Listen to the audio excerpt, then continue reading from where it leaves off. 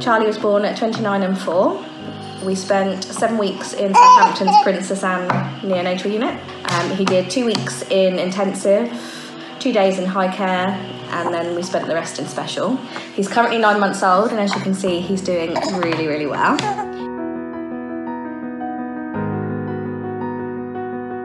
With Charlie being born at 29 4, um, I was actually quite poorly with um, a low lying placenta that had been bleeding from around 24 weeks. It meant that I was actually in high dependency for uh, 12 hours after the C section, which meant that I didn't see Charlie for the first 12 hours of his life.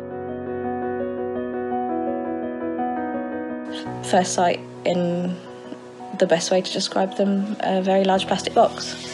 Um, but instant love, instant happiness, just so pleased that the science and everything can do what they can do for the babies these days.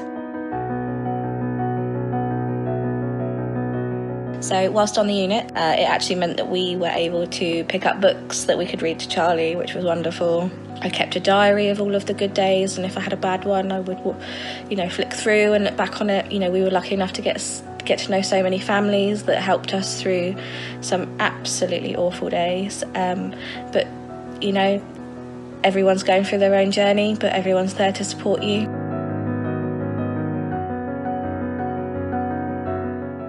Definitely think there needs to be a bit more awareness of the um, neo units, especially for families that are having premature babies. You know, the first few days, understanding why it's all happened and, you know, trying to get used to everything going on around you in the unit itself, um, which is also very overwhelming.